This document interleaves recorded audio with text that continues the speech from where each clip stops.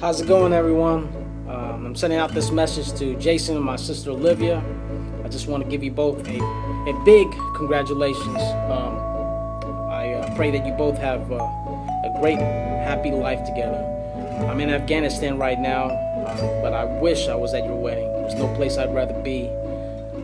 I can't wait to see you both as a married couple, and uh, may God just give you so many blessings. I'll be home soon. I love you all.